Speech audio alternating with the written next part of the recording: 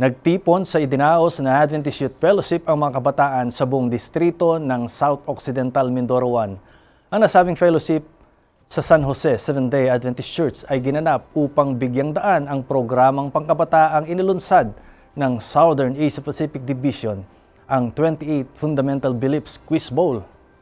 Ang iba pang detalye tungkol dyan, nasa balitang may pag-asa ni Myra Jim Tanyedo. Isang District Youth Fellowship ang isinagawa dito sa San Jose Seventh-day Adventist Church na mayroong temang rooted. Ito ay bilang pagkisangkot sa programa ng Southern Asia Pacific Division na 28 Fundamental Beliefs Quiz Bowl. Ginanap ang Youth Fellowship na ito noong ikadalawamput-anim ng Agosto taong kasalukuyan. Dinaluhan naman ito ng mga kabataan mula sa distrito. Naging tagapagsalita nila rito si Brother Adrian Sena kung saan kanyang tinalakay ang patungkol sa paglago kay Kristo. Ang fellowship na ito ay pinangunahan ng mga kabataang leader ng bawat iglesia.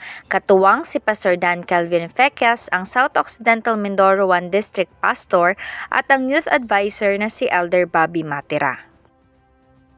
Handa po sa 28 Fundamental Beliefs Quiz Bowl, ang amin pong distrito, ang South Occidental Mindoro 1 ay nagkaroon ng isang District Youth Fellowship kung saan ang mga kabataan sa aming distrito ay nagsama-sama sa pagsamba sa araw ng Sabado. At kasabay po nito, ginanap po namin ang aming quiz bee para po maka- magkaroon kami ng magiging representative namin sa area-wide 28 Fundamental Beliefs Quiz Bowl.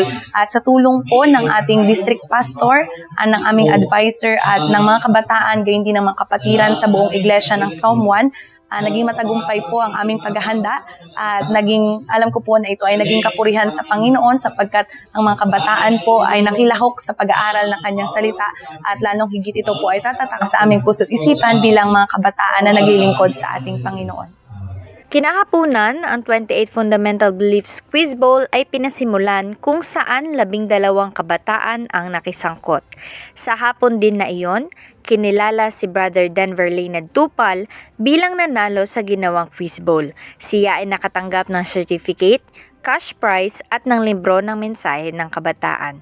Siya din ang magiging kinatawan ng distrito sa gagawing area-wide quiz bowl. Una po sa lahat, nagpapasalamat po sa Panginoon sa opportunity po na ito na, na ibigay po sa amin na nangyari po through the SSD. At hindi rin po makapahiwala na nanalo po ngayon kasi po hindi po masyado po nakapag-review. Ang ginawa ko lang po talaga, may, yung sinend pong reviewer sa amin, nasa ko po yun na maayos. Tapos po nang nalangin po ako na maintindihan ko po yung lahat. Eh po, hindi po makapaniwalang nanalo po talaga. Salamat po sa Panginoon. All glory be to God.